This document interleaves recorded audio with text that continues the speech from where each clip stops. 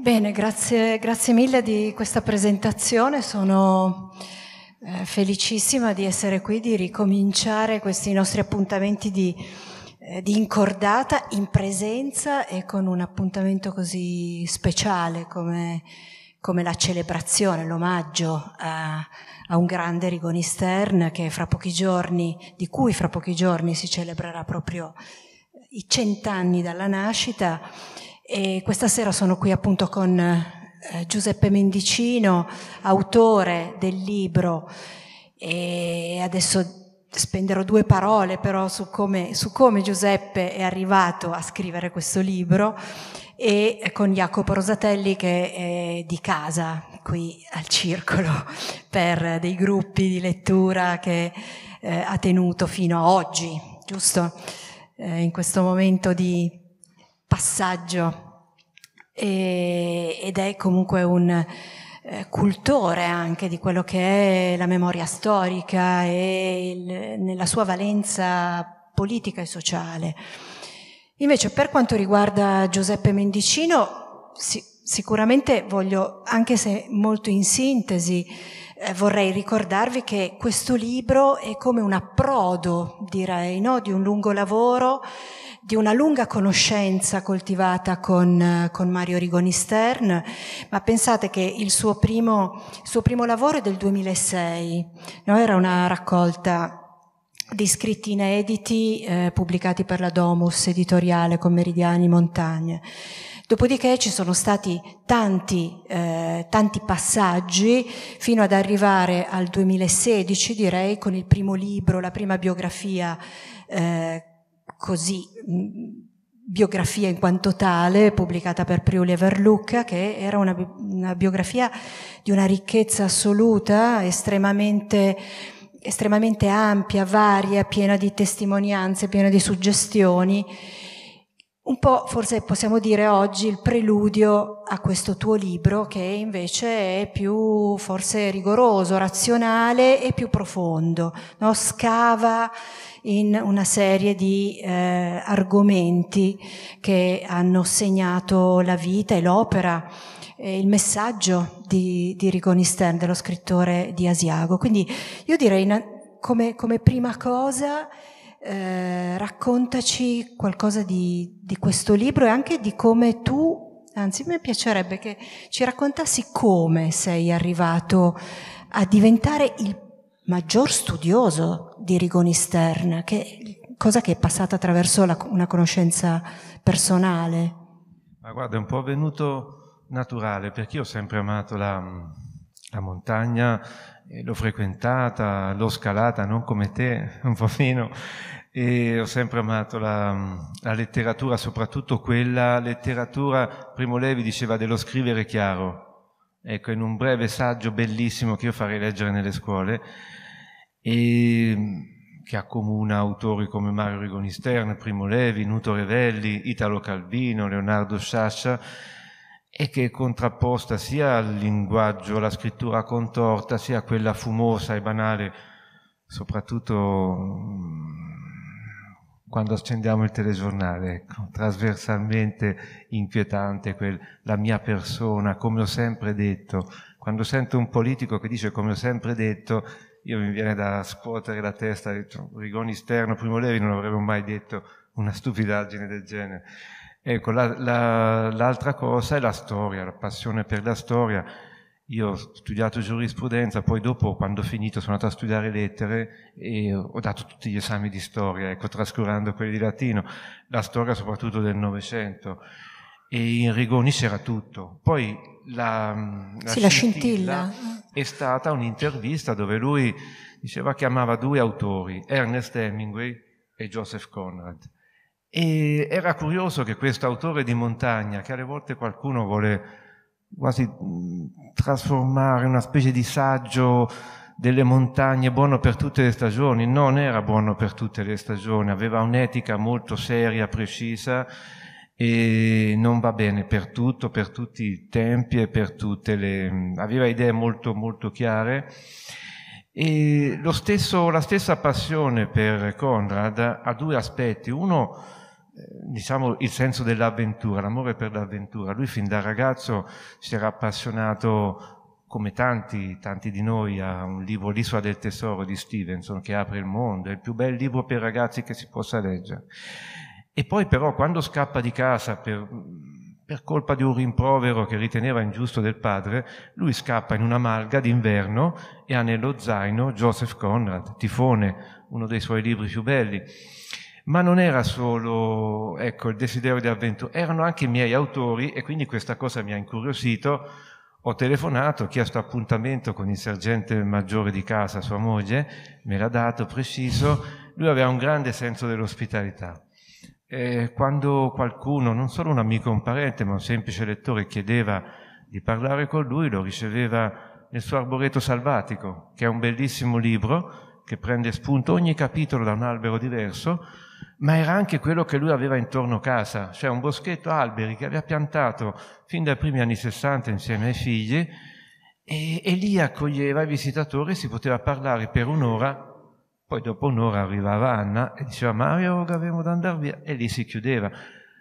Da quel primo incontro però è nato qualcosa di più, ecco, e quindi sono sempre tornato a ritrovarlo fino a capire che la passione per Conrad non era solo amore di avventura o di mare, ma era anche amore di etica civile, perché un giorno, non so se qualcuno ha letto Lord Jim di Conrad, è uno dei suoi libri più belli, mi fece aprire una pagina e c'era il protagonista che diceva che vedi, a tutte le latitudini, qualunque sia la lingua, la religione, eh, il colore della pelle, la morale è una sola, i principi più importanti, il coraggio, la generosità, la sobrietà, il senso di responsabilità unito alla libertà, perché l'amore per la libertà da solo non serve se non è unito al senso di responsabilità, sono comuni a tutte le civiltà, al di là di qualunque, a tutte le latitudini. Quindi la, l'etica è una e questa è una cosa che mi ha, mi ha colpito profondamente. Sì, sicuramente poi il suo, il suo, arrivo come scrittore negli anni 50, dopo il secondo conflitto mondiale, ecco, questo aspetto ha, ha giocato eh, è stata un po' una chiave di volta. Guarda, l'inizio per Rigoni, come anche per Primo Levi e Nuto Revelli, è stato molto difficile. Non sono stati compresi subito. Forse eh, Mario non, non c'era il desiderio di sentire parlare. Ha avuto la fortuna di essere apprezzato da Vittorini, ha capito subito che era un libro particolarmente originale, non era solo scrittura concreta, incalzante, era anche scrittura poetica perché la passione che aveva Rigoni per la poesia, lui portava questi due libri nello zaino durante l'addestramento alpino. Il Dante Alighieri, la Divina Commedia, edizioni Epli, che sta dentro una tasca, e Primavera e fiori della lirica italiana di Giosuè Carducci. Questo afflato poetico nelle pagine emerge ed è un'originalità importante. Poi Vittorini non ha fatto solo del bene perché ha posto anche dei tagli a quel libro che io non condivido assolutamente. Lui, dopo la guerra, c'era questa idea di una letteratura mm, un po' sulle, seguendo Steinbeck, Faulkner, quella sì. americana, una letteratura molto di fatti e poche digressioni, poche riflessioni, ma soprattutto un ritmo incalzante, a volte con esiti straordinari, come Addio le armi di Hemingway, che in Italia certo. Purtroppo è uscito solo dopo la guerra, perché prima il fascismo l'aveva vietato. E, e, quindi queste digressioni sentimentali nel sergente a, a Vittorino non piacevano e le ha tagliate brutalmente. Io ho riportato nel libro dei brani tagliati e viene a dire ma perché? Primo Levi è stato più sfortunato però perché come sappiamo sì. venne rifiutato dall'Einaudi, fra l'altro da Natalia Gisburg, nessuno ha mai capito perché e uscì però, in una piccola eh, casa editrice. Però fu salvato da Franco Antonicelli che, che eh, invece Antonicelli era, un grande, un non fine, a caso un fine era uno che veniva da giustizia e libertà certo. e io una delle mie passioni è il movimento di giustizia e libertà. L'Einaudi lo pubblicò purtroppo solo nel 58 e divenne quel successo mondiale che...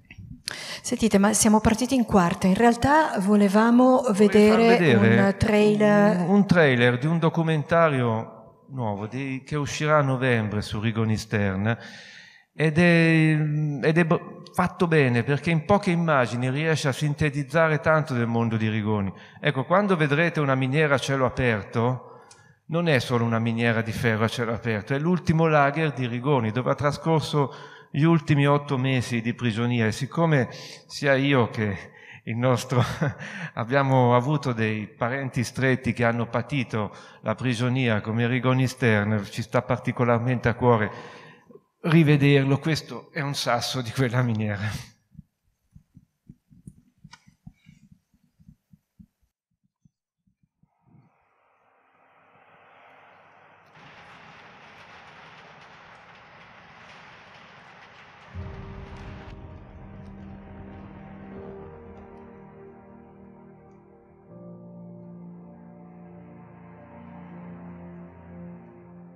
Avete mai assistito un'alba sulle montagne?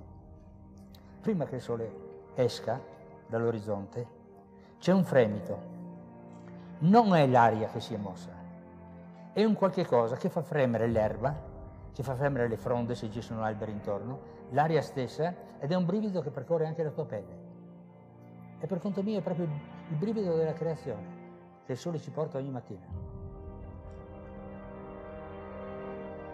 Lui è uno straordinario creatore di mondi e Asiago è un mondo per lui perfetto.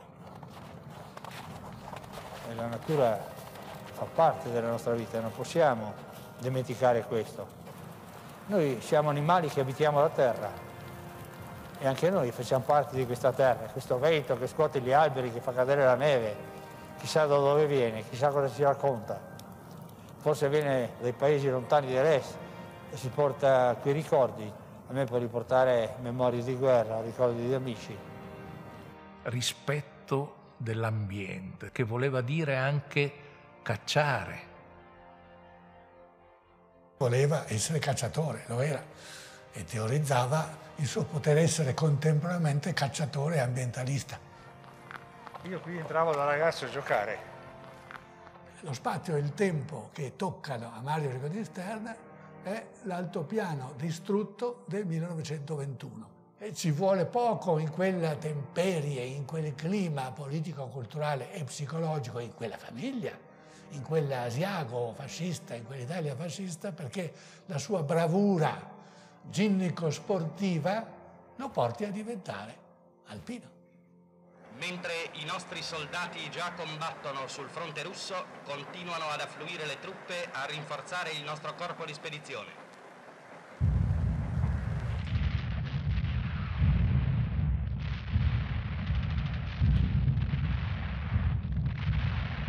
Il corpo militare italiano era completamente circondato ormai dai, dai russi. Per uscire fuori bisognava sfondare a Nikolaevka,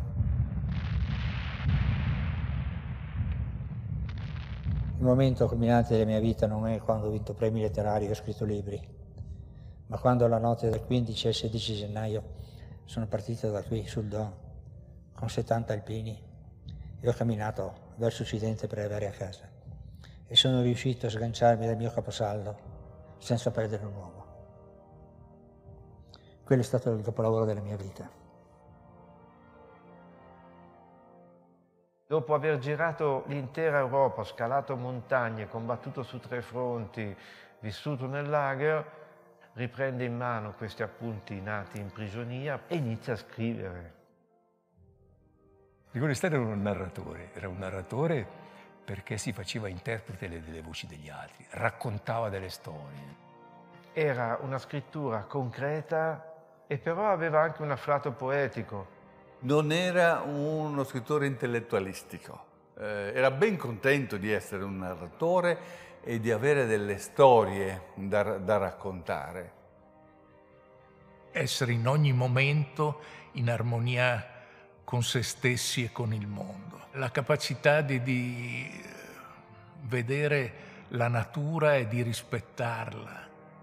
Un uomo che ha attraversato le peggiori tragedie del Novecento riuscendo a rimanere integro.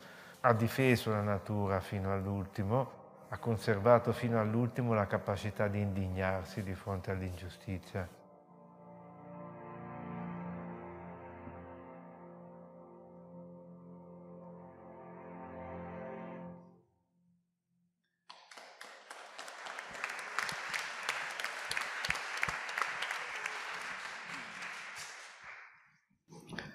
Effettivamente sono quattro minuti molto densi, condensati, che aprono tantissime finestre.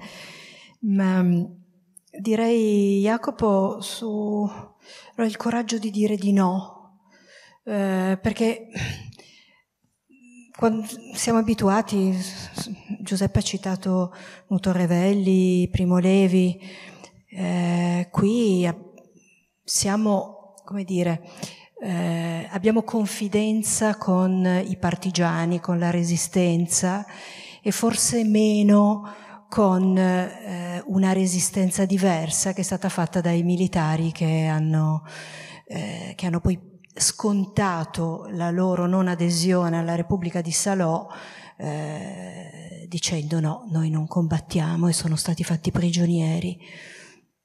Com'è la tua... Ti, ti ringrazio Linda e buonasera a tutti e tutte. Grazie all'autore per darci questa opportunità. Eh, prima di risponderti volevo riprendere un tema secondo me particolarmente bello e interessante, eh, citato prima da Giuseppe Mendicino, e, l'universalismo di Mario Rigoni Stern. Eh, quando Giuseppe Mendicino diceva che Rigoni amava dire riprendendo i suoi autori più cari, ovunque tu vada c'è una morale, una cosa giusta. Quindi l'universalismo, ed è l'universalismo di una persona situata in un piccolo eh, eh, angolo del, del mondo, fortemente radicato in quell'angolo di mondo, espressione di quell'angolo di mondo, come l'altopiano di Asiago. E questo a indicare come eh, essere fortemente radicati in un luogo non significa eh, essere eh, chiusi al mondo. Eh, l'universalismo non è eh, il frutto di essere dei globetrotter che girano, ma si è autenticamente radicati in un, in un punto del mondo e si può essere a, a, altrettanto autenticamente universalisti.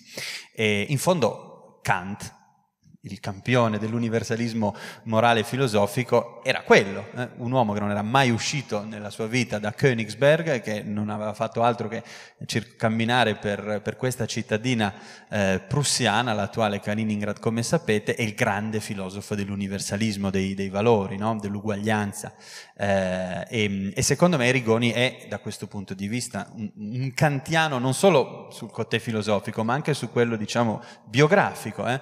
E quindi da questo punto di vista eh, grandi, eh, le grandi voci dei territori eh, sono voci universali, universaliste. Bisogna, secondo me, rifugire da quelli che eh, coniugano l'attaccamento alla propria terra con la chiusura al mondo, con la chiusura al prossimo, con il rifiuto dei valori universali, proprio perché i veri, eh, i veri, le vere espressioni del, dell'attaccamento alla propria terra sono eh, quelle voci che sanno parlare la lingua universale dei diritti, della giustizia della, e dell'etica. E questo mi sembra particolarmente, particolarmente importante in rigore Rigoni, come poi anche in Nuto Revelli esatto. e anche in Primo Levi, ad esempio, che peraltro sono quelle amicizie di, di, di, Rigoni che fanno di Rigoni un autore in parte anche torinese e piemontese nelle frequentazioni e nelle amicizie, quindi è bello eh, ricordarlo qui a Torino eh, questa sera, insomma ha un legame particolare con la, nostra, con la nostra città e con il nostro territorio. Ma per venire alla domanda di Linda Cottino, eh sì, è molto importante, secondo me, ehm, diciamo, dare il giusto peso a quelle forme di resistenza eh, diverse dalla forma classica di resistenza che noi onoriamo e, e, grazie alla quale noi siamo qui persone libere che possono leggere libri e parlare e conversare insieme, cioè quelle forme, chiamiamola così, della resistenza civile o della resistenza non violenta o della resistenza non combattuta con le armi, ehm, della resistenza del no o della resistenza eh, fatta attraverso piccoli gesti eh, che non sono, diciamo, non sono valsi il riconoscimento eh, ufficiale eh, di essere partigiani e partigiane. Senz'altro i soldati italiani che si sono rifiutati di consegnare eh, le armi ai tedeschi e, di, e di, asso, diciamo, di associarsi alla Repubblica Sociale Italiana. E prima l'autore appunto ricordava come prima di entrare qui ci siamo scambiati questa esperienza biografica, eh, il mio nonno paterno per esempio è stato uno di quelli, era sul fronte jugoslavo, eh, alpino tra l'altro come Mario Rigoni Stern, eh, rifiutandosi eh, di eh, consegnare le armi ai tedeschi e di unirsi quindi eh, al, insomma, di fare una scelta collaborazionista, ha pagato questo con quasi due anni di, di prigionia molto dura in Germania. E quindi sono molto legato perché sono cresciuto con i suoi racconti di questa, di questa questa storia eh, che per lui ovviamente è stata determinante anche a, a formare poi la sua identità eh, di persona.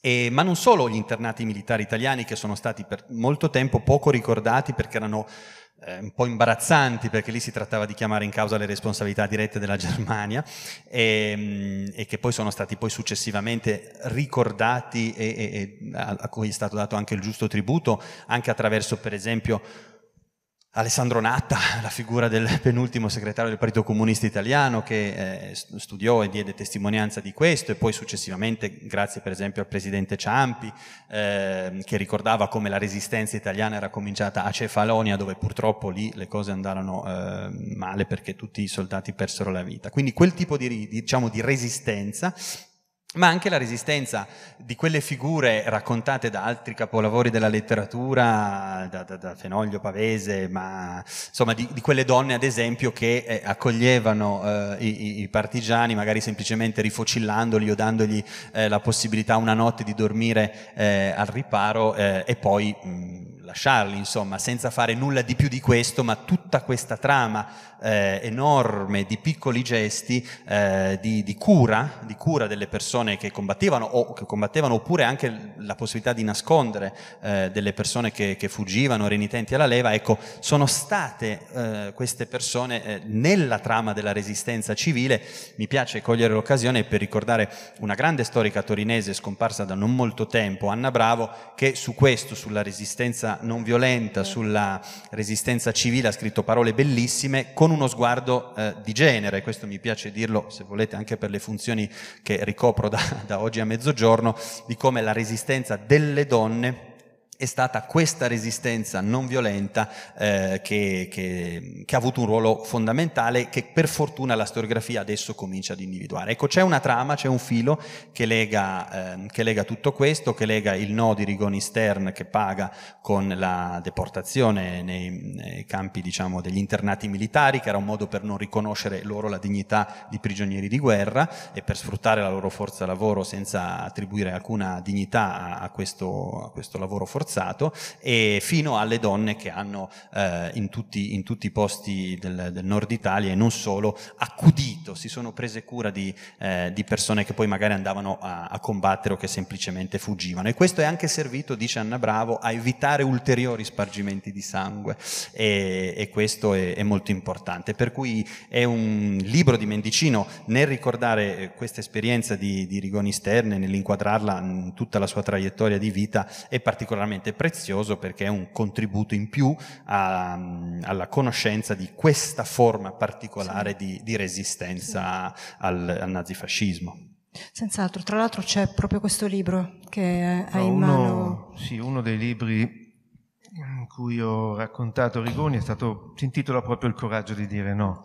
Ecco, mi fa molto piacere che sia anche il titolo di, questa, di questo incontro.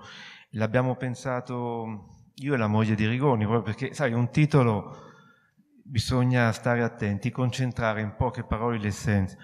E allora abbiamo pensato a questo titolo qui, e qui ho raccolto, partendo da una cerchia di 400 interviste e conversazioni, ho cercato di mettere insieme quelle più significative. E penso di esserci riuscito perché il commento più bello che ho sentito a questo libro una lettrice di una bella età ma che chiama tanto i libri e poi ti dirò chi è, ha detto sembra di parlare con lui. Ecco, è questo che davvero mi ha fatto piacere perché a rileggerlo anch'io mi sembra di, di essere sotto gli alberi quando si, par- si, parlava con lui. Coraggio di dire no è quella scelta dell'8 settembre del 43, esatto. naturalmente, successiva all'armistizio, 600.000 soldati giovani vennero mandati nei vagoni piombati verso la Germania. Rigoni venne mandato prima verso la Prussia orientale e poi dopo, alla fine, dopo tante peripezie, vari lager, gli ultimi otto mesi li passò, avete visto quella miniera di ferro a cielo aperto, nella regione della Stiria. Sono montagne è una bellissima zona, sono dei boschi meravigliosi, tutte montagne verdi e ce n'è una rossa con questi gradoni alti che Rigoni quando la vide, la sua passione per Dante, disse questo è il purgatorio come viene raccontato nelle illustrazioni di Gustave Doré. E lì chi lavorava in alto moriva congelato perché io sono andato lo scorso giugno a girare quel documentario, ero nella biblioteca del paese sottostante, paesino austriaco, tutto bello colorato, pulito, e mi sono arrabbiato tantissimo, indignato, non voglio usare la parola arrabbiato, perché in quel paese, in quella miniera che ancora funziona, non c'è una targa, un libro, nulla che ricordi che lì c'era un lager. È una cosa abbastanza brutta. Infatti vedere è, le immagini oggi sembra nulla, è, è rimasta totalmente in piedi una baracca, la baracca delle guardie, con i vetri rotti, non so quanto reggerà ancora. Fra l'altro io ho scritto a varie associazioni nazionali importanti di vario tipo, non mi ha risposto nessuno. Io vorrei che qualcuno, Togliago, se mi può dare una mano, guarda, eh, qualcuno prendesse l'iniziativa di dire lasciamola in piedi quella baracca, perché ha un valore altissimo. Lì hanno sofferto, hanno patito tanti ragazzi di varie nazionalità e, e Rigoni l'ha sempre ricordata perché nei suoi libri noi vediamo fuori uomini boschi api, sergenti della neve, uno può immaginare, guarda, ci sono libri che parlano di guerra di storia e altri di natura. No, è un amalgama continuo. Certo, Nel sergente certo. della neve è pieno di paesaggi, basta pensare all'inizio, le canne sbattute dal vento sulle rive del Don, il quadrato di Cassiopea è un continuo, c'è una ricchezza di paesaggio, di natura in tutti i libri e nei libri apparentemente di natura, Uomini, Boschi Api, parte con tre racconti di Lager, di Lager compreso sì. il terzo, che mh, I giorni del nord-est, che parla proprio di quel lager lì. Quindi mh, è, è, è, come la, è come la vita, ci sono le cose belle, le cose brutte, le montagne amatissime, queste, l'agrivola, la scalata all'agrivola è quella lettera in cui racconta agli amici di Asiago la scalata all'agrivola, è il suo primo racconto. Lui non nasce scrittore col sergente, ma guarda, lì quella lettera della scalata all'agrivola è un récit d'ascension bellissimo. Sapeva scrivere fin da ragazzo, aveva fatto sulla scuola di avviamento, ma leggeva tanto. Leggici un passaggio. Ho trovato, guarda, una, un mese fa, quindi è una cosa, una sorpresa, una lettera proprio da quel lager. Ti leggo solo le prime tre righe perché io non, penso che le, le, letture uno se le deve fare non solo, ma... Guarda, scrive cara Ennele, Ennele Anna, è un diminutivo un po' cimbro, un, un po', antico veneto. Sì. È il 2 dicembre del 1944, ha nevicato sino a poco fa e ora una luna grande e luminosa tra uno squarcio e l'altro delle nubi illumina uno scenario fantastico di boschi e cime. Il silenzio è immenso, solo rotto di quando in quando dal richiamo dei caprioli che vagano nei boschi. Sembra un pianto umano. Sarà qualche cerbiatto smarrito nella neve che chiama la madre. I miei compagni dormono nelle baracche, fa tanto freddo. Forse però qualcuno di loro veglierà e penserà come me al prossimo Natale. Aveva 22 anni aveva fatto solo la scuola d'avviamento, secondo me scriveva benissimo. Sì, tra l'altro hai citato, hai citato l'agrivola, poi Mario Rigoni Stern appunto era partito a 17 anni eh, per la Val d'Aosta, aveva, aveva, risposto a un bando semplicemente no? per speciali, specializzati Specia- rocciatori. Specialista sciatore spe- rocciatore. Esatto. Fra l'altro prima di fare l'alpino un segreto, tenta di fare il marinaio. Sì, esatto. l'amore della ragazzina di Venezia, un, un, amore tutto di testa che sì. si era immaginato. Senza, senza saper nuotare, infatti penso un che... Un sogno di avventura, cerca di entrare in marina. Naturalmente non ce la fa, anche perché non ha mai imparato a nuotare in vita sua.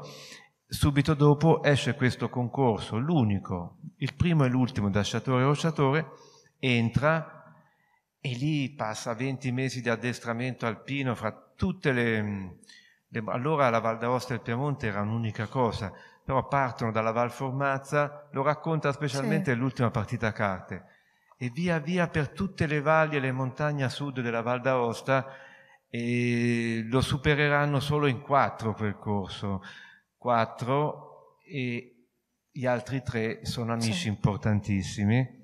Alla fine della guerra non ne ritroverà neanche uno, perché uno Achilli muore proprio a Nikolaevka era un, di origine abruzzese, che mi commuoveva quando recitava Jacopone da Todi nelle tende, diceva. L'altro Chianale era delle parti tue, è cunese, e gli diceva quando torniamo saliamo, ti porto sul Monviso che da lassù si vede il mare.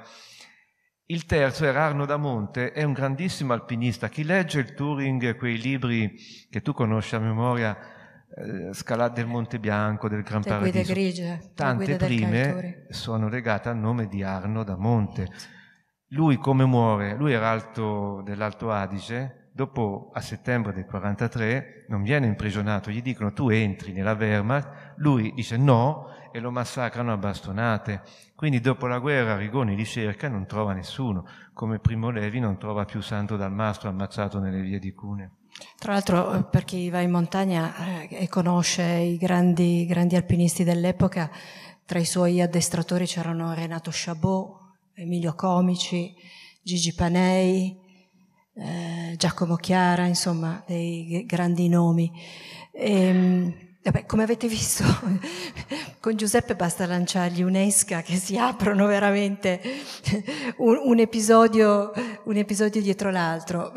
Se, se, se, volessimo tornare a una, diciamo così, una categorizzazione, no? come tu hai scelto di fare anche per il convegno che, stai, eh, che hai organizzato um, la, ad Asiago eh, il prossimo fine settimana Sostanzialmente la, diciamo, i, grandi, i, i, quattro grandi punti sono quelli dell'etica civile, come abbiamo detto, della memoria, del fare memoria. Sì, guarda, il convegno si svolgerà sabato e domenica ad Asiago, parteciperanno Walter Barberis, storico e presidente dell'Einaudi, fra l'altro sta abbastanza male per una caduta incredibile, si è rotto tibia e perone nella valle di Champorchet che poi magari ne parleremo, era la valle più cara a Primo Levi a Mario Rigoni Stern. L'avevano percorsa da ragazzi, uno a 19 anni, l'altro a 20, e ne avevano 60 quando dicevano quando siamo grandi torniamo insieme nella valle di Saint-Porchet a rivedere la rosa dei banchi, il lago bianco, il lago di Misoren e non ci riuscirono perché nell'aprile dell'87 Primo Levi morì purtroppo. Ecco, i quattro punti cardinali, che poi sono i quattro punti di attualità di Rigoni, sono un'appassionata difesa della natura, che è attualissima, i cambiamenti climatici eh, sono terribili. Vaia, tre anni fa, ha distrutto eh, tante foreste dell'altipiano di Asiago, 500.000 alberi buttati giù come birilli. E io mi ricordo, ora, la passione per Rigoni a un'intervista a Radio Popolare, l'intervistatrice tre giorni fa fa, ma non era un'attenzione un po' antica? No, no, no, no. Io ho detto, non era nostalgia, anche, però era attualissima. Io mi ricordo nel 2006, mi disse, guardi, in Germania sono 20 anni che c'è una legge approvata da tutti eh, sul consumo di suolo. In Italia ancora non c'è. Siamo l'unico paese dell'Europa occidentale che non ha una legge che blocca il cementificare, quello che Zanzotto chiamava il progresso scorsoio.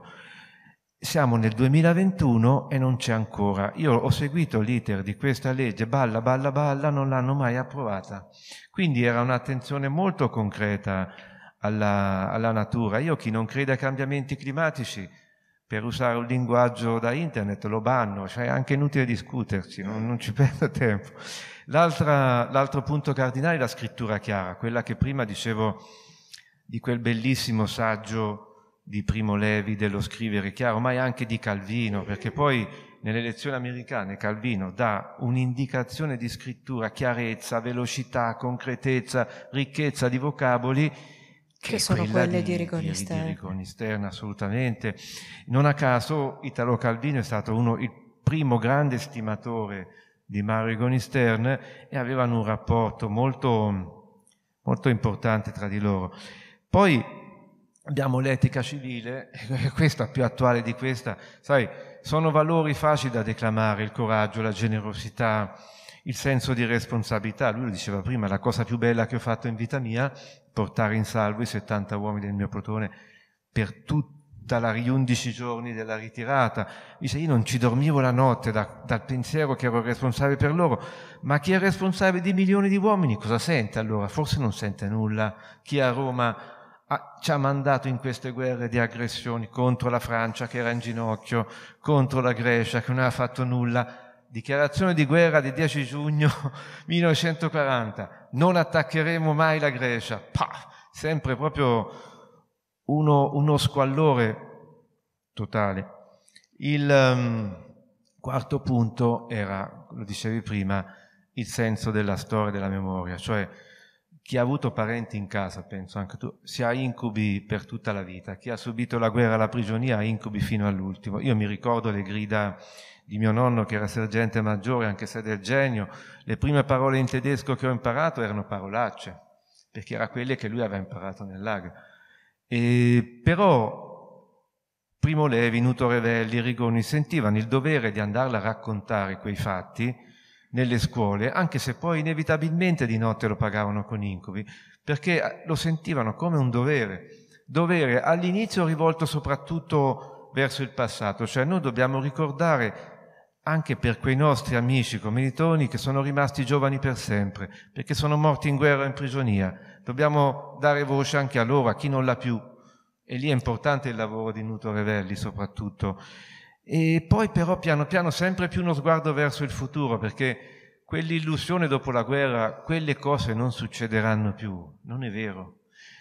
Sono successe e se non vengono raccontate, succedono ancora. Se viene banalizzata la storia, non voglio citare eh, cose di, di, di, basso livello, però davvero è importante ricordarla. Facevano anche esempi concreti. Primo Levi, che non ha visto quello che è successo in Jugoslavia, citava la Cambogia, stragi un quarto della popolazione sterminata. Eh, Nuto Revelli e Marigoni Stern citavano la Jugoslavia, cioè nel cuore della civile Europa ancora stragi etniche, a Srebrenica sterminata 8.000 esseri umani, tutta la popolazione maschile, e quindi diceva se queste cose non le raccontiamo, ma senza enfasi, senza aggettivi, eh, senza corone, cerimonie, trombe e pennacchi, raccontando i fatti, perché l'orrore, è inutile enfatizzarlo, l'orrore era nei fatti, allora basta raccontare i fatti, nomi, cognomi e date, e i ragazzi forse lo capiscono. Uno di questi punti era proprio quello legato alla natura. Lui era, era, un cacciatore, ogni tanto gli, gli dicevano ma come, come, fai a essere un cacciatore e al tempo stesso un ambientalista.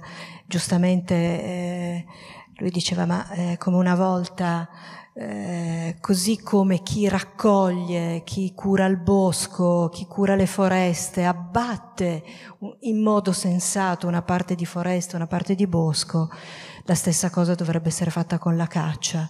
Per cui lui, tra l'altro, eh, andate a rileggere davvero questi, questi passaggi, queste descrizioni che fa, eh, che diventa, mescola la, la, la, la poesia con il rigore del naturalista, eh, cosa che fa anche con gli animali. È, è, un, è, come se lui stesso, cioè la sua scrittura diventasse espressione di, una, di un afflato di vita, no? E tu hai, ci hai ragionato, vero, su, un po' su questo? Ma guarda, eh, ti ringrazio della, della, domanda. Mi piace cogliere l'occasione per dire che non ho ragionato solo da, da, solo, ma eh, il gruppo di lettura che abbiamo fatto qui al Circolo l'anno scorso, eh, con le difficoltà del caso, dovendo farlo un po' a distanza, un po' in presenza, è stato proprio un gruppo di lettura eh, su, diciamo, sul problema della, del cambiamento climatico e sulla esigenza di eh, creare una coscienza ecologica, ecologista, ambientalista diffusa eh, trasversale attraverso le letture, attraverso la riflessione.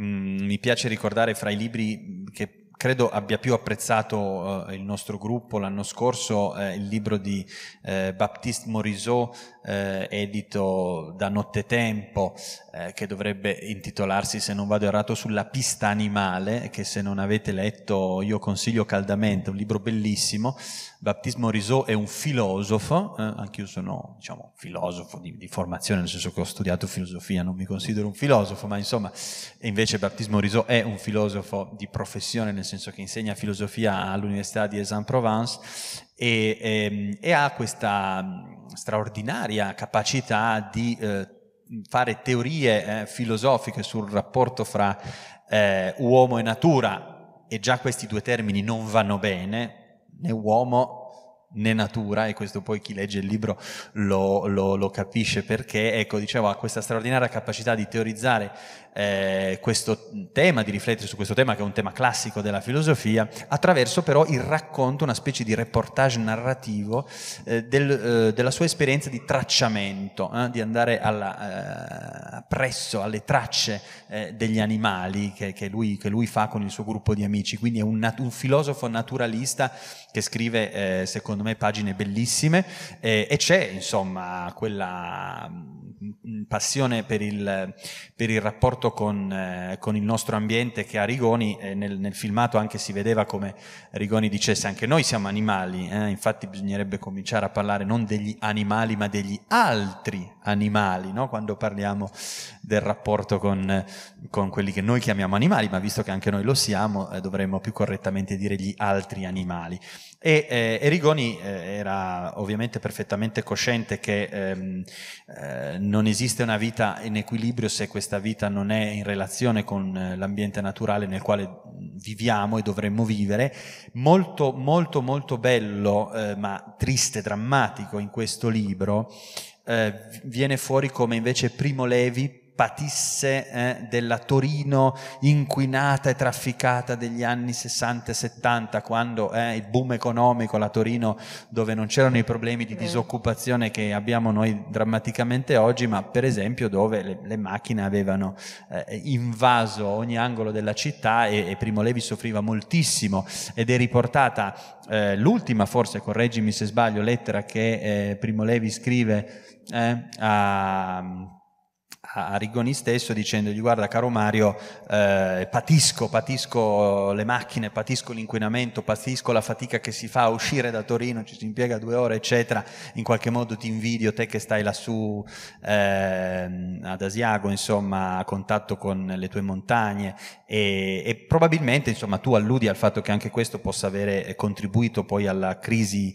eh, depressiva insomma di, di, Primo Levi e alla, alla, sua scelta poi drammatica di, di togliersi la la vita e viene ricordato come fosse eh, atteso Primo Levi ad un indi- in dibattito in una scuola con, con Nuto Revelli e poi viene informato di questo. Quindi è, è certamente un tema decisivo e Rigoni è un autore possiamo dire, eh, dell'ambientalismo italiano, eh, e questo va, va, sicuramente detto, e anche eh, non solo un'ambienta- diciamo, non c'è un'idea romantica dell'ambiente, non c'è un'idea selvaggia, ma c'è un'idea ragionata, razionale e anche politica, eh, perché diciamo, la devastazione del territorio attuata attraverso politiche scellerate di, di lottizzazione selvaggia che hanno devastato le città e non solo le città, le nostre coste, insomma in questo libro viene fuori come Rigoni ce lo avesse presente, quindi era, era un, il suo era un approccio eh, puramente, cioè, pienamente politico, insomma, quindi un ambientalismo politico ante litteram se, se vogliamo.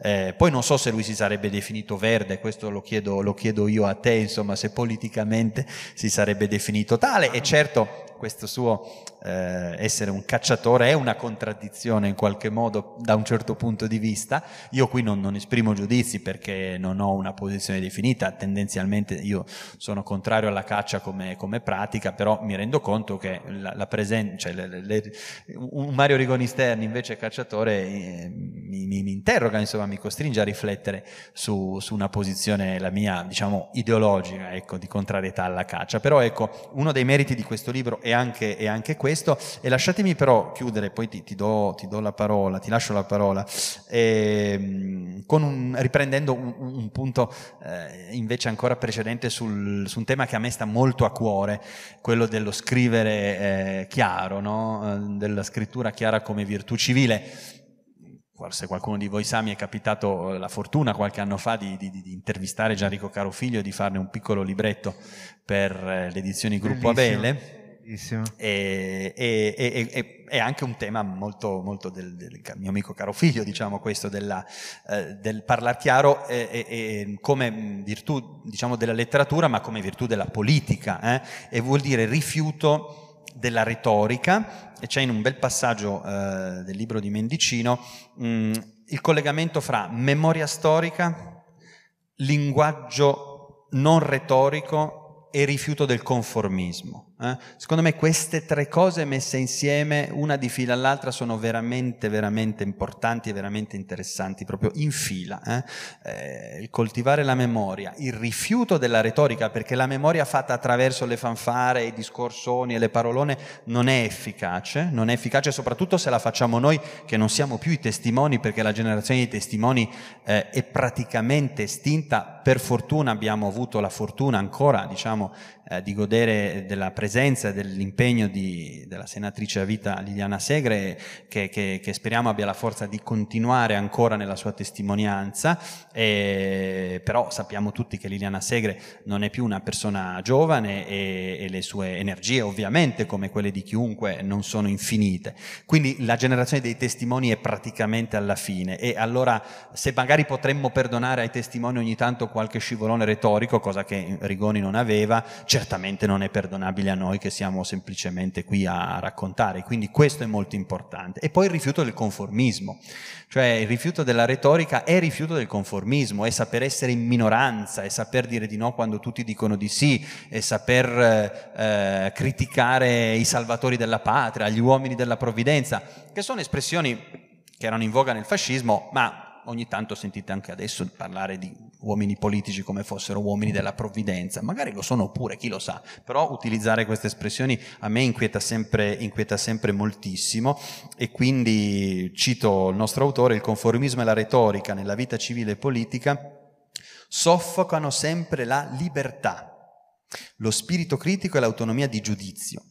Sono il preludio di tutti gli autoritarismi e anche qui c'è Kant, e anche qui c'è un grande provinciale universalista a cui io sono legatissimo, come era Norberto Bobbio, eh, che di se stesso non aveva paura di dire ma io sono un provinciale, non sono praticamente mai andato via da Torino, eccetera, eppure sono, sono, sono un universalista. E nel dialogo con Maurizio Viroli, non so chi di voi l'ha letto, Dialogo sulla Repubblica, è molto divertente perché Viroli, filosofo del repubblicanesimo, del patriottismo e della nazione eh, come, come, valore, eh, insegna in America, è un globetrotter e, e dialogando con Norberto Bobbio dice io sono un repubblicano patriottico e, sono, però, e invece tu sei un universalista e, e in fondo sei non molto sei radicato, sei un, un, grande provinciale, come anche un grande provinciale universalista era Giorgio Bocca. Quindi insomma devo dirti grazie anche per avere messo in fila questi, questi concetti e averli, e averli legati fra loro. A me fa tanto piacere proprio che hai citato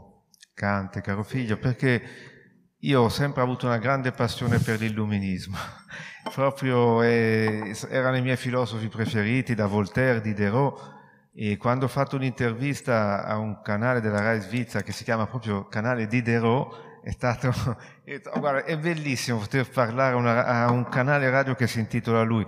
Poi il libro di Caro Figlio, fino all'ultimo illuminista che poi è Karl Popper, e che diceva non prendete nulla per oro colato, ogni, fate la prova scientifica, ogni cosa che vi raccontano, confrontatela con la realtà, ogni ideologia, ogni cosa con la scienza, con la realtà e poi verificate, cercate di verificare se è vera. Poi caro figlio, quando dico suggerisco ai ragazzi tre libri per eh, diciamo ragionare sulla scrittura chiara, Primo Levi, Italo Calvino e ultimo caro figlio, quel breviario di scrittura felice di scrittura civile è secondo me il più bel libro di Caro Figlio. E, davvero critica sia non solo la demagogia della politica, ma anche quella delle categorie, come quella dei suoi stessi magistrati o di altri, o delle prefetture. Io non ho mai visto scrivere male come nelle lettere delle prefetture, quando scrivono voglia notiziare la scrivente. È terribile, io mi sento male quando leggo quelle cose lì. E, ehm, e quindi... E poi quell'accenno alla politica, niente, Rigoni Stern si riconosceva in quel bellissimo filone di giustizia e libertà. Nuto Revelli era comandante di un battaglione di giustizia e libertà. Primo Levi, quando fu catturato nelle montagne Val d'Aosta, era in un piccolo gruppo di partigiani di giustizia e libertà. Massimo Mila, Norberto Bobbio. Eh, io ho stima dell'attuale ministro della giustizia, però quando io andavo, venivo a Torino a ascoltare Norberto Bobbio, lei andava a Rimini. Insomma, anche secondo me non basta essere... A, al meeting di CL, non, non, a, non in discoteca, adesso chiariamolo, no? solo perché detto, a Rimini uno sembra... No, no. Sì, a me non piace né una né l'altra. Eh, appunto, ecco. no, no, no, solo per dire. Tutta. Intende ecco. il meeting di Rimini.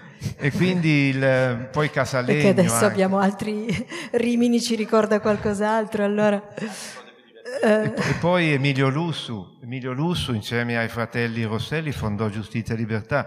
Il riferimento sia come modello di scrittura, perché un anno sull'altipiano è scritto benissimo, è un modello di scrittura chiara e lì e Rigoni dice io lì ho trovato la guerra com'era veramente, lì è in addio le armi che ho citato prima.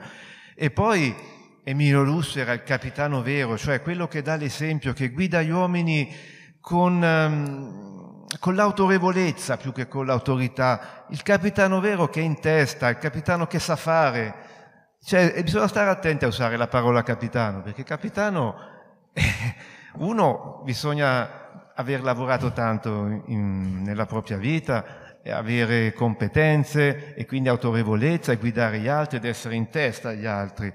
E Emilio Lusso, che ha combattuto il fascismo, combattuto la guerra, durante la Grande Guerra era un ottimo, un ottimo ufficiale, ma non, man, non, mandava allo sbaraglio i suoi uomini, cercava di, di, ne aveva cura, ecco, per usare un'antica espressione.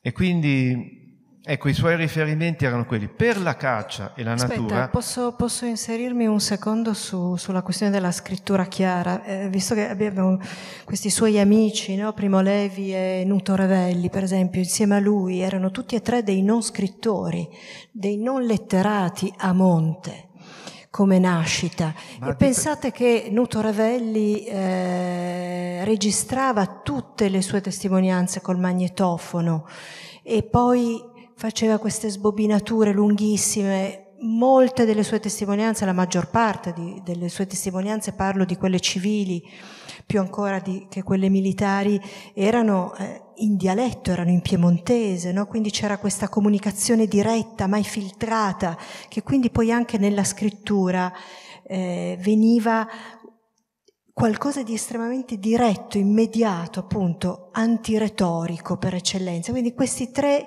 questi tre uomini, il chimico, il chimico Primo Levi, il commerciante Nutorevelli e l'impiegato del catasto eh, Mario Rigoni Stern, usavano la scrittura, la utilizzavano non come... Però eh, attenzione, di, di non...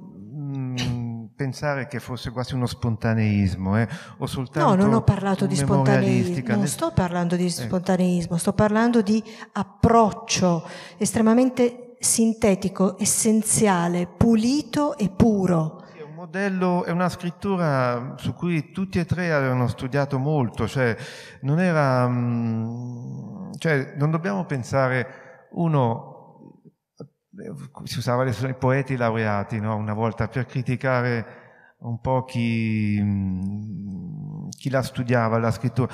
Loro l'hanno sempre cercato di scrivere, anche quando erano ragazzi, soprattutto Primo Levi e Rigoni Stern. Quindi questa vocazione a scrivere eh, ce l'hanno sempre avuta. Il fatto che non sia costruita io non sopporto, per esempio, la scrittura accademica, no? tante volte l'eccesso di citazioni che poi serve anche a, un fatto anche di, io più citazioni fa, o in un testo, sappiamo come funziona, Invece la loro scrittura era chiara per scelta. E, um, una palestra di scrittura, per esempio per Rigoni, fu anche i taccuini che lui portava nel taschino, cioè il fatto di registrare continuamente tutto quello che gli avveniva, gli avvenimenti che gli si muovevano intorno, che fosse una scalata o una battaglia, in una piccola agenda, quindi bisognava essere chiari, concreti, precisi e non ripetitivi. E quell'agendina è una palestra di scrittura. E lui se la portava dietro e, e gli stava poi d'aiuto per memorizzare tutto, ma soprattutto tu impari a non sprecare le parole, a usare le parole giuste, precise e a non ripeterle. Volevo un attimo tornare alla Agli natura, animali, ecco, sì. perché ti dice come fa un cacciatore a essere ambientalista. Non è semplice, però ci si può fare. Nel senso, ecco, questa mostra che adesso è in corso a Trento fino a febbraio, ho portato il catalogo per te Linda, però lo manderò anche a te Jacopo. Il titolo è Selvatici e salvifici. E, sì, raccontaci l'ho, anche da dove arrivano questi. Eh, l'ho scelto io per questo motivo, sono, eh, ho curato questa mostra perché partendo dall'arboreto salvatico, eh, salvatico racchiude due parole, toscano antico, il, um, lo troviamo nel Purgatorio di Dante al canto 26 e vuol dire due cose, la natura selvatica e al tempo stesso salvifica, cioè selvatica nel senso che va lasciata respirare, non va distrutta, eh, non va cementificata, non vanno costruiti impianti da scia di discesa eh, con la neve che non c'è più e stanno facendo cose terribili nello Dolomiti in questo momento. E, e, poi salvifica, perché se noi salviamo la natura, salviamo noi stessi. Lui citava un altro poeta che amava tantissimo, Giacomo Leopardi, nello Zibaldone, fra l'altro in un saggio, non in una poesia. Eh, Leopardi diceva: L'uomo che distrugge la natura taglia le radici del proprio futuro. Ecco, sono poche parole chiarissime, nette e, e, limpide. Se noi salviamo la natura, salviamo il futuro nostro e, di, e soprattutto di chi verrà dopo di noi.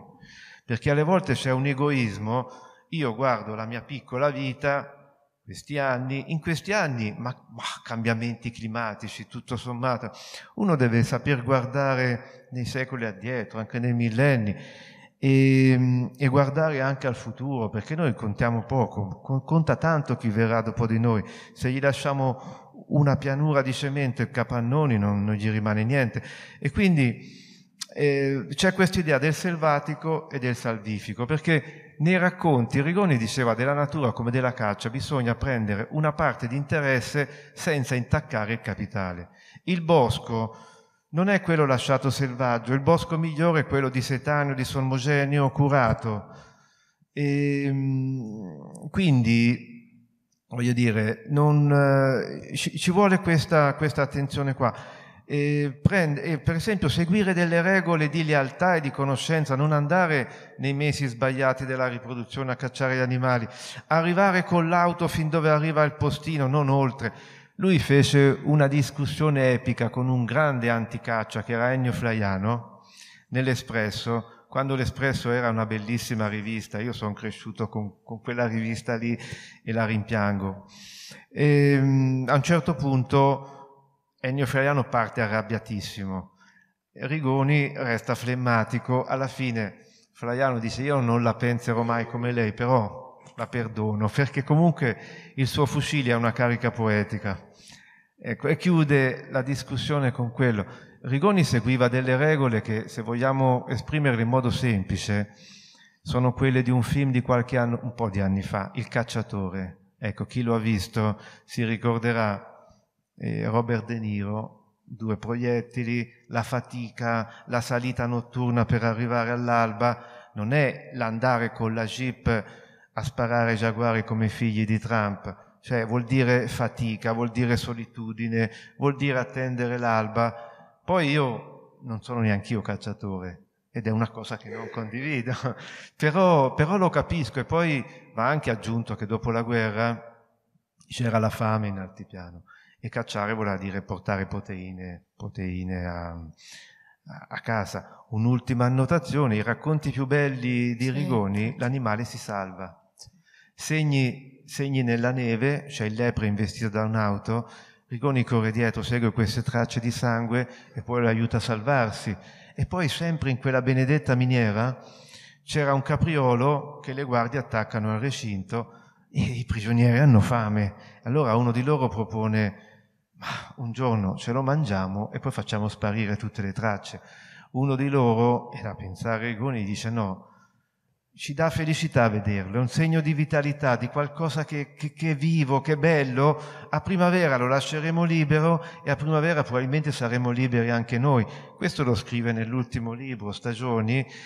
E, è, è, un'idea di, di vitalità, di un mondo che riparte. Lui diceva io vorrei morire a primavera, perché la stagione che amava di più era l'autunno con i colori, la bellezza dei larici indorati, i faggi, gli asceri rossi ma la stagione nella quale vorrei morire è la primavera perché eh, riparte tutto, ricomincia tutto ed è morto a primavera il 16 giugno del 2008. Io, eh, Linda, spero farei parlare lui adesso. Sì, infatti volevo, volevo, sì, volevo proprio chiederti, in questo momento sei, sei un uomo eh, coinvolto direttamente nel che cosa ti può dare il messaggio eh, di, di Rigonistano? Cioè in che modo pensi che possa essere attuale eh, il, suo, il suo messaggio, quello che lui ha vissuto, quello che lui è stato sostanzialmente? No? Perché io, io sono un po' allergica a queste... Eh, queste celebrazioni, no? questa, questa, santificazione dei, delle persone, però ci sono sicuramente delle, degli uomini, delle donne che hanno, forse proprio con quel loro universalismo di cui parlavamo all'inizio, eh, possono portarci dei contenuti umani che vanno al di là del tempo che loro hanno vissuto. Ecco, tu oggi che ti trovi in questa condizione, come, come lo interpreti? Sì, mi trovo in questa condizione e, e, e, non è la ragione per la quale sono qui fra voi, perché appunto sono qui fra voi in Beh, quanto... l'invito era molto precedente. appunto, chiariamolo, se no sembra sì. che il circolo inviti sì. l'uomo di potere, no, no, non è affatto così. Io appunto come Saki frequento abitualmente questa casa, da molti anni conduco un gruppo di lettura che è partito proprio come gruppo di lettura su Norberto Bobbio, e, poi è continuato per, appunto fino a oggi, oggi alle, alle 7 ci siamo salutati e, e, abbiamo attraversato molti temi tra i quali eh, quello della, appunto, come dicevamo prima, dell'ecologia.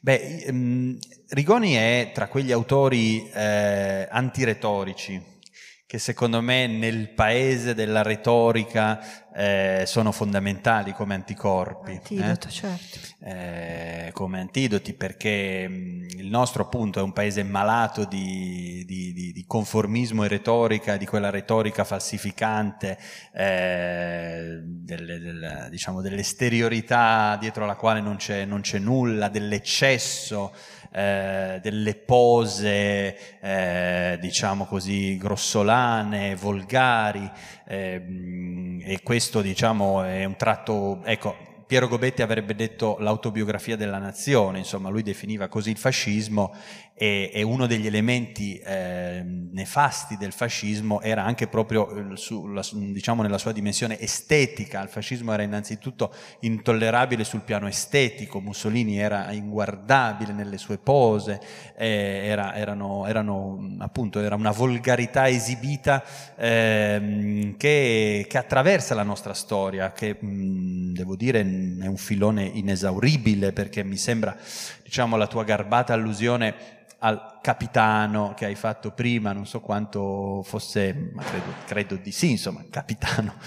E adesso io qui non eh, posso... Anche non... allo spacciatore di programmi televisivi eh, orrendi. Ecco, no, sappiamo che il capitano è, il, il, modo che, che, che, alcuni hanno, seguaci, hanno di chiamare un uomo politico di cui non faccio il nome, diciamo che... Mh, credo mh, a cui diciamo, tratto fondamentale non sia certo l'eleganza e il rifiuto della retorica, insomma, la, eh, quindi reto- antiretorica come aderenza ai fatti, alle cose, come aderenza anche scientifica alle cose, eh, come eh, rapporto con, con, i fatti, con la scienza.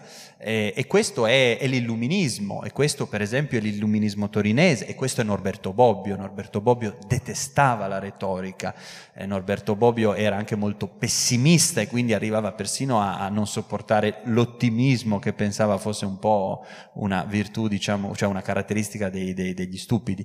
e quindi io penso che Rigoni appartenga a questo straordinario straordinario filone, mm, non so se minoritario nella nostra cultura, certamente minoritario nel paese, quello dell'antiretorica.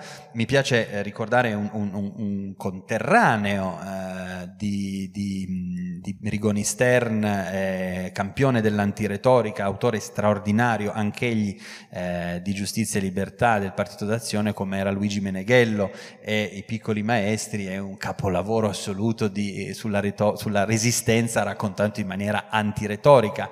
E l'ironia è una caratteristica, diciamo, eh, l'autoironia è una caratteristica caratteristica che eh, dovrebbero avere le persone insomma, eh, che anche che fanno politica, no? E invece noi purtroppo siamo in un paese dove è possibile, so, affacciarsi a un balcone e dire abbiamo abolito la povertà senza che questa cosa risulti ridicola, insomma, come evidentemente è, al di là delle intenzioni, diciamo, e delle singole eh, misure che fossero state adottate in quel caso. Quindi, secondo me, quello che è, è importante di Rigoni come eh, scrittore civile è è questo ed è questo senz'altro uno degli elementi che più hanno a che fare con, con la politica e con l'educazione politica. Poi lo abbiamo già detto, l'importanza della, del coltivare la memoria e quindi anche di libri di mediazione fra noi e questi grandi autori come quello di, di Giuseppe Mendicino, proprio perché i testimoni non ci sono più eh, e quindi questo è senz'altro importante. E poi dicevamo eh, senza dubbio la, il rapporto con eh, la natura che ci circonda, eh, che ci ha, deve aprire gli occhi di fronte al cambiamento climatico, al riscaldamento globale. Fatemi citare a proposito di montagna, chi di voi ha, ha letto eh, un bel libro che è un reportage, diciamo un, un, un, un viaggio in Italia ehm, fatto da Roberto Mezzalama, pubblicato da Einaudi quest'anno, si chiama eh, Il clima nel, nell'Italia eh, che cambia, adesso, adesso sì, o, il, sì. il, il, il, il, titolo adesso c'è, c'è, clima, c'è Italia, scusate sono un po' stanco eh, ma non mi ricordo esattamente, comunque l'autore è sicuramente lui e l'editore è sicuramente Einaudi. E tra le prime cose che racconta eh, c'è, ven, aiutatemi adesso a identificarlo bene, eh, il crollo di una, parete, di una, parete, che ha fatto la storia dell'alpinismo come conseguenza del cambiamento, del cambiamento climatico eh? e quindi mh, diciamo...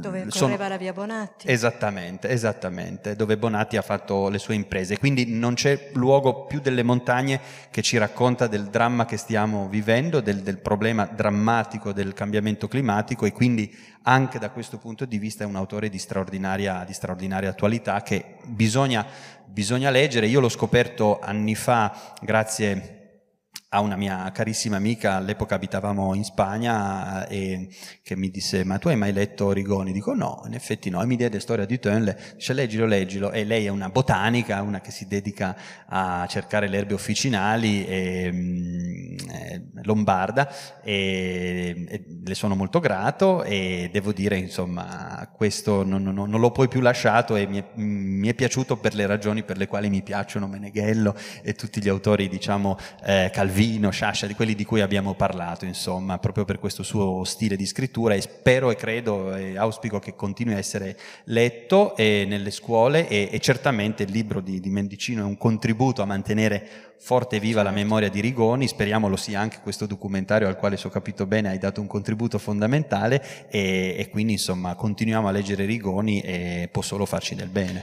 E tra l'altro... Prima di vedere il eh... filmato, mi permetto di ricordare fatto bene a ricordare quell'autore, ne volevo ricordare un altro, di cui oggi ricorrono i cento anni. 27 ottobre 1921 nasce Antonio Sederna. Non, nessun telegiornale l'ha ricordato oggi. È eh, il più grande difensore dell'ambiente, del paesaggio del, del nostro paese, ma si è battuto proprio concretamente tutta la vita. Fra l'altro uh, ha dedicato un libro, la terza, molto bello, quando si dice le cose, le cose buone fatte da, da, Mussolini. Ecco, tra le cose cattive io aggiungerei anche la devastazione urbanistica di Roma e Cederna gli ha dedicato un libro bellissimo a questa cosa, a questa cosa qui. E, sono i due, è curioso che ricorre il centenario in ottobre di Zanzotta, autore oltre che di bellissime poesie, di questo libro Il progresso scorsoio, lui al Veneto di pianura che ha visto questa devastazione della pianura Veneto, inquinamento delle acque, il FAS, e poi anche i capannoni, la marea di capannoni di cui uno su cinque oggi è abbandonato e, e perso per sempre. E poi Antonio Cederna, oggi questo, questa ricorrenza importante di, di non, io vorrei che ci fosse un altro Antonio Cederna oggi, purtroppo la cosa curiosa è che nonostante questa maggiore consapevolezza e conoscenza del disastro, io ho visto negli ultimi due o tre anni proprio un aumento del cemento e della, delle devastazioni. Quello che sta succedendo sotto le Tofane in questo momento è emblematico. Eh beh, certo, è... via libera gliel'hanno dato le Olimpiadi. Facciamo vedere... Senti, eh, prima di far vedere eh, con cui concluderei no, questi, questi, ultimi minuti, volevo che tu ehm, ci dicessi due cose proprio per, per seguire il, il discorso che facevamo sull'importanza di portare di far continuare, di far continuare a vivere questo messaggio, e cioè quello che passa anche attraverso il premio letterario Rigoni Stern. Ma guarda, lì di, si sono, stanno muovendo tante cose. Per esempio, in questo momento, mentre stiamo parlando su Rai Storia, stasera andava in onda un bellissimo speciale proprio su Rigoni Stern con varie testimonianze, Barberis, Cognetti, che fra l'altro è l'autore di una prefazione alla ristampa di Arboreto Selvatico particolarmente bella, forse la più bella delle, delle cinque prefazioni che sono uscite, era bella anche quella di Affinati, però era del 2001, la più bella è sicuramente quella di, di Cognetti, Maria Pia Veladiano, Marco Paolini, però una rassicurazione lo ridaranno domattina, dopodomani. Sì, no, guarda, me le sono appuntate. E Nei poi su Rai giorni Play ce ne sono da domani, il 29, il primo, il 2 e il 2 novembre. Ci ecco, poi il documentario di cui abbiamo visto il trailer. Poi domani uscirà il nuovo numero di Meridiani Montagne, dedicato all'altipiano, e l'articolo di apertura sarà proprio su Mario Gonistero all'altipiano. L'ha scritto un certo Mendicino, non so se lo conosco. E, Forse. Poi c'è questo convegno di, di Asiago, ecco, e poi io spero che una cosa che mi piacerebbe, però la volevo suggerire alle Naudi, avevano creato quella bellissima collana letture per le scuole medie Sì. con l'autore che scriveva la prefazione pensando proprio ai ragazzi.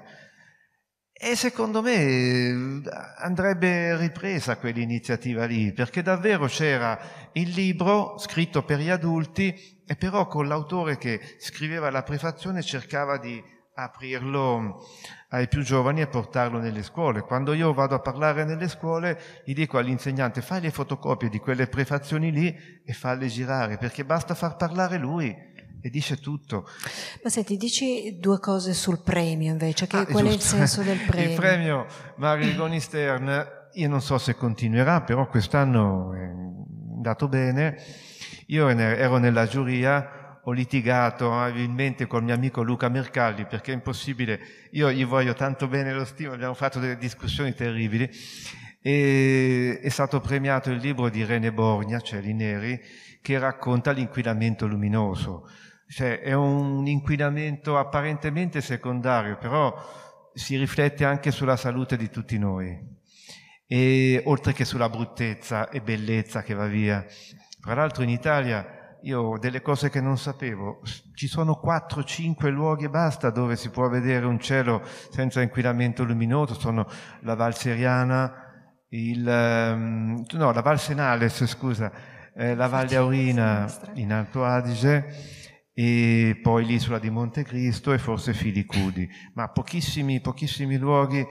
E, e quindi era un bellissimo stimolo perché poi eh, Rigoni aveva questa passione anche per, ehm, per il cielo, per l'astronomia, aveva, l'aveva imparata da ragazzino nei libri di Flammarion, un autore francese dimenticato, ma che ai primi del Novecento ha fatto conoscere l'astronomia a tantissimi, tantissimi ragazzi.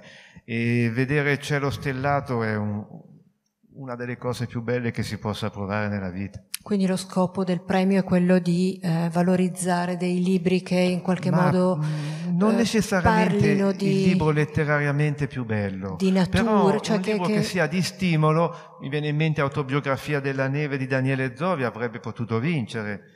Eh, era altrettanto bello, secondo alcuni forse quindi anche che sia di stimolo a una riflessione sul contesto in cui viviamo Sì, e poi un che altro libro che è stato segnalato era un libro francese sui rifugiati che attraversano le Alpi come una volta gli spalloni, come faceva Massimo Mila che usava le sue virtù alpinistiche per scalare le montagne e portare dalla Francia di qua i manifesti e i giornali di giustizia e libertà. E adesso invece ci sono questi disgraziati che, che muoiono per cercare di attraversare le Alpi e non c'è un libro italiano che ne parli, c'era questo libro francese e abbiamo pensato di segnalarlo.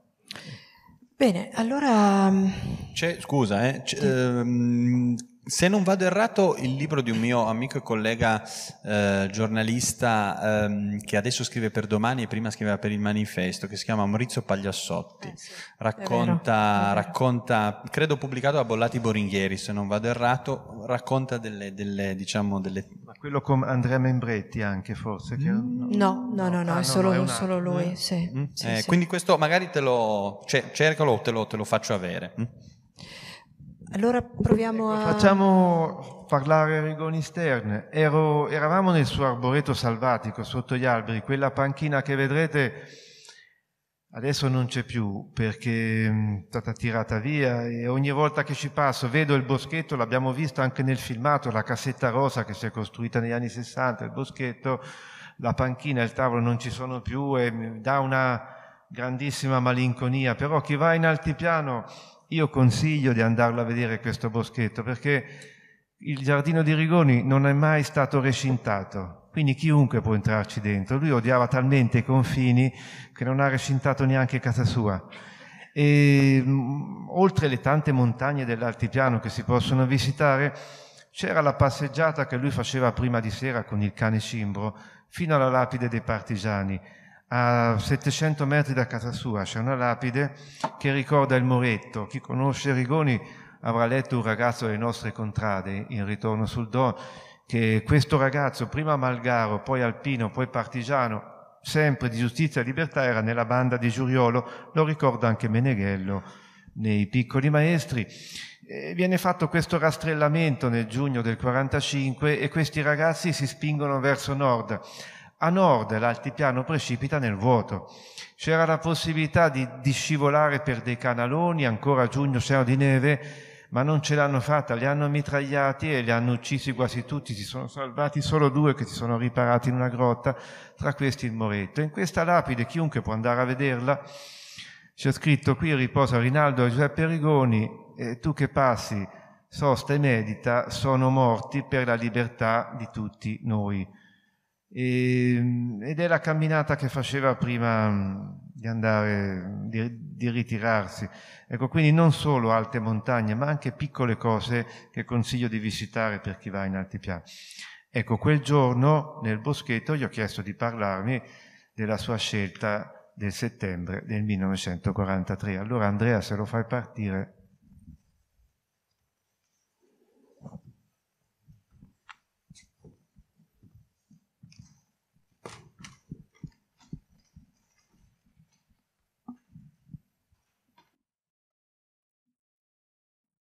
Eravamo, eravamo numeri, non più uomini. Il mio era Siebentausend Neuunder 43, ossia 7943.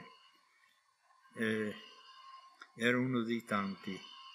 Mi avevano preso sulle montagne ai confini con l'Austria. Quando tentavo di arrivare a casa non ce la feci. Mi portarono a piedi fino a Innsbruck e poi dopo 4-5 giorni ci caricarono sui treni e ci portarono in un territorio molto lontano che a noi era sconosciuto, oltre la Polonia, vicino alla Lituania, sulla Masuria, in un lager dove precedentemente erano morti migliaia e migliaia, parlano di 50-60 mila russi, prigionieri morti di fame e di tifo. Noi andammo a occupare le baracche che avevano lasciato liberi e dopo 4-5 giorni ci proposero di arruolarci con la Repubblica di Salò, ossia di aderire all'Italia di Mussolini. Eravamo un gruppo di amici che avevamo fatto la guerra in Albania e in Russia. Eravamo rimasti in pochi, ci siamo messi davanti allo schieramento e quando hanno detto Alpini fate un passo avanti e ritornate a combattere, abbiamo fatto un passo indietro e fummo coperti di insulti e di improperi. Avevamo visto cos'eravamo noi in guerra sia in Albania sia prima contro la Francia poi contro la Russia. Avevamo capito di essere dalla parte del torto, non potevamo più essere alleati né con i tedeschi dopo quello che avevamo visto. Perciò da allora fummo dei traditori, fummo della gente che non aveva più combattere e ci trattarono da tali. Nell'ordine dei lager venivamo subito dopo gli ebrei, gli slavi e venivamo noi. Non eravamo nemmeno riconosciuti dalla Croce Rossa Internazionale, ci chiamavano internati, ma non eravamo prigionieri dentro reticolati con le mitragliatrici piazzate nelle torrette che ci seguivano ogni volta che ci spostavamo dentro per andare in qualche parte. Beh, abbiamo resistito. E tanti di noi non ritornarono. Più di 80.000 nostri compagni sono morti in questi lager durante la prigionia. Io ritornai nella primavera del 1945 a piedi dall'Austria dove ero fuggito dall'ultimo lager. Arrivai a casa che ero poco più di 50 kg, pieno di fame e di febbre, e feci molta fatica a riprendere la vita normale. Non riuscivo nemmeno a sedermi a tavola con i miei o a dormire nel mio letto. E ci volle, ci vollero molti mesi per riprendere la vita di cittadini qualsiasi. Avevamo dietro le spalle una storia che ci aveva fatto aprire gli occhi su quello che eravamo noi e su quello che erano quelli che dicevano i nostri nemici. Quello che ci avevano insegnato nella nostra giovinezza era tutto sbagliato. Non bisognava credere, obbedire e combattere, non bisognava che l'obbedienza fosse cieca, pronta e assoluta, non bisognava che Libro e Moschetto fosse il fascista perfetto avevamo imparato a dire no sui campi della guerra ed è molto più difficile dire no che sì. E anche voi ragazzi imparate a dire no alle lusinghe che vi sono intorno. Imparate a dire no a chi vi vuole far credere che la vita sia facile, imparate a dire no a chi vi vuole proporre delle cose che non sono contro la vostra coscienza. Seguite solo la vostra voce. È molto più difficile dire no che sì.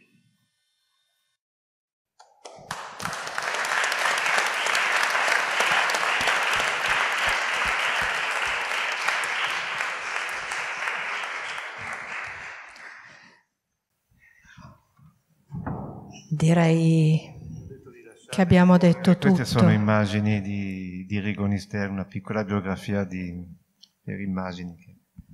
Se volete fare delle domande...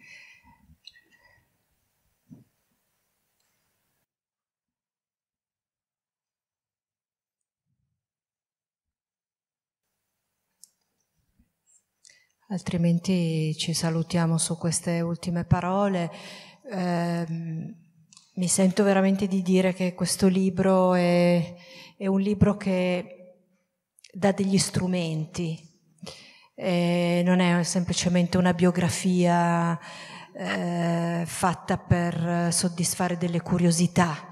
No? Guarda Ma... Linda, mi viene solo da dare un suggerimento. Ecco, io eh, vorrei suggerire di leggere un libro che è il più dimenticato di Mario Gonistani, che è Quota Albania Vero. E Vero. secondo me, allora lui diceva, il mio libro forse più bello è Storia di Tenle. Il sergente nella neve forse il più bello, sicuramente il più importante, quello a cui sono più affezionato è Quota Albania. Ha avuto meno fortuna di altri perché con quel titolo sicuramente sbagliato, Il bosco degli urogalli è un titolo evocativo, uno legge Quota Albania, rimane un po' freddo. In realtà è un libro che parla di montagne, i primi capitoli parlano delle montagne qui delle Alpi occidentali, il passo del piccolo San Bernardo sì. non è tutto ambientato in Albania, ed è un libro di neve e di montagne, non è l'Albania di Tirana del mare, è l'Albania delle montagne alte e dei ragazzi soldati congelati. Ed è molto duro, è molto, è, è molto compatto, scritto benissimo, mm.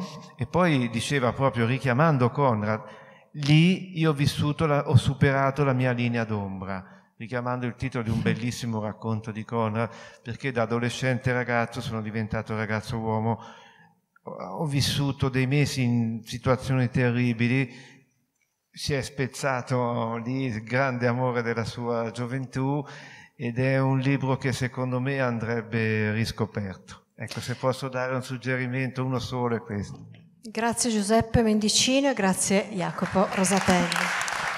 Grazie a Linda Cottino, grazie al Circolo.